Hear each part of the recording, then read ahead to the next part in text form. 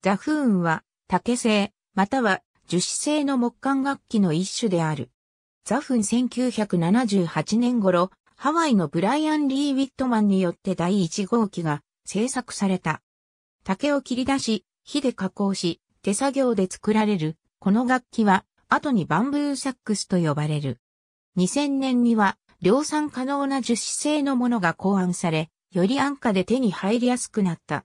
ABS 樹脂で製造されたポケットサックス、ポケットサックスの登場により量産可能となり、広く世界中で販売されるようになる。構造は非常に単純で男の開いた本体、リーガチャーに分けられる。本体は竹製、または樹脂製で表側に8個、裏側に1個のトーンホールがあり、左手は5本すべての指、右手は4本の指を用いて演奏する。形状は円筒状で、長さは35センチメートルほどとソプラノリコーダーとほぼ同じ大きさである。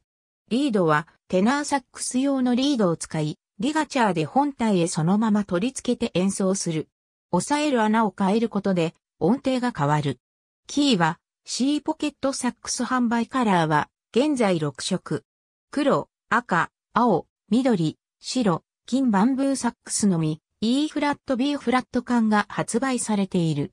音域は2オクターブほどで、サックスのフラジオ音域のように拡張も可能。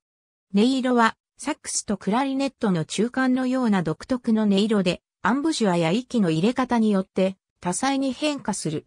音程の自由度が高く表現力が豊かであるが、その反面ピッチが不安定という短所もある。ありがとうございます。